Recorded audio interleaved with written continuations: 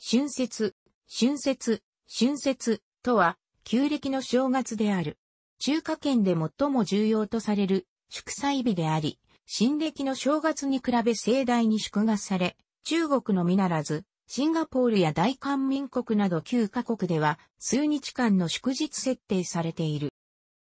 この項目では主に中華圏での旧正月としての春節を取り上げ、その他の地域での旧正月については、旧正月の項目を参照されたい。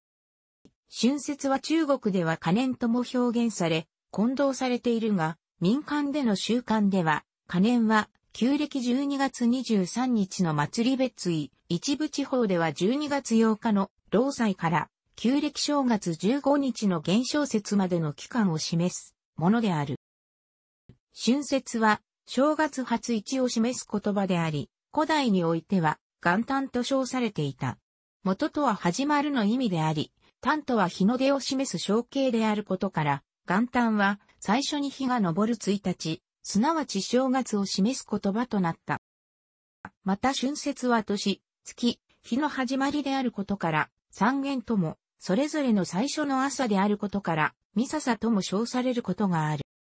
古代中国では、年末年初に、労祭を行い先祖や衆神への祭祀が行われ、合わせて豊作を記念することが一般的に行われていた。諸教には春が正月に進化を率いて天を採取したことを記す。伝説では正月がいつであるかは王朝によって異なり、夏夜は夏暦の元月を正月としていたが、院代になると夏暦の12月を正月とされ、終代になると11月を正月としたという。新代になり10月を随月、始皇帝の名の姓と同音の姓を引きして、隋に改めたとした。前漢の武帝の代に行われた大書改暦の際に夏暦の元月を正月に定められ、それは清滅亡まで続いた。清滅亡後に成立した中華民国では歴法に西洋諸国と同じグレゴリオ暦が採用され、1912年1月1日を民国元年1月1日とする歴法が採用された。その後の国境内戦を経て中華人民共和国が成立する直前の1949年9月27日、中国人民政治協商会議第一次全体会議において、新中国成立の際には、グレゴリオ暦を採用することが決定され、新暦の1月1日を元旦、旧暦の正月初一を春節とすることが決定され、現在に至っている。春節の来歴に関しては、万年という人物の伝承が民間に伝わっている。勤労かつ善良な少年であった万年は、生活の中で樹木の陰影が時期により移動することや、水滴の滴る様を見て、時間に対する規律性を発見した。当時の民衆は時間に対する規律性を知らなかったために、農業などで大きな不便を感じていた。万年はこれらの事象から四季を区別し、草歴を編み出した。草歴を知った天使はこれを称賛し春を一年の最小とし、春節と名付けることを命じた。その後万年は不完全であった草歴を完全なものとするため研究を続け、老人になりさらに正確な暦を作成。その功労として天使によりそれは万年暦と命名され、万年は寿星に封じられた。人々は春節を迎えることを可念と表現し、家々では寿製図を準備し万年の功績を忍んだとされる。伝統的には春節に先立つ行事として、旧暦12月24日、23日ともに大掃除をして、ヘツインの神を祀る。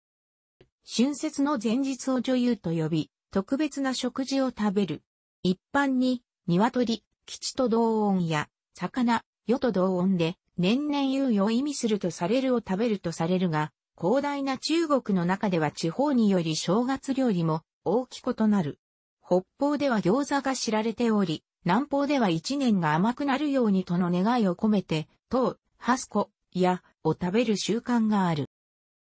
家の入り口には、春蓮や年賀などを貼り、また窓などに、戦士、切り絵を貼る。爆竹を盛大に鳴らすのは、中華圏の春節の特徴である。芸能としては、獅子舞が踊られる。春節での習慣としては、起床後に年配者に対して長寿を祝う言葉を述べ、その後近隣住民や知人と春節を祝う言葉を述べ合うものがある。子供には赤い袋に入った厚さい線、お年玉を渡す。家庭では春節用の衣装を用意し、新年の華やかさを演出するだけでなく、新年に幸運をもたらす意味を持たせている。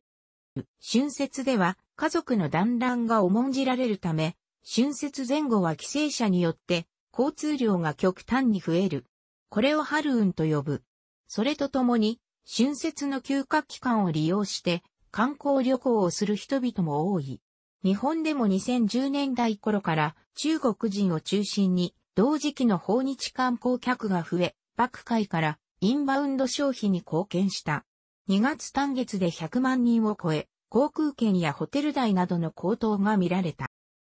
その他の習慣に関しては、関連項目も参照のこと。正月前後が国民の休日となる国は、現在9カ国ある。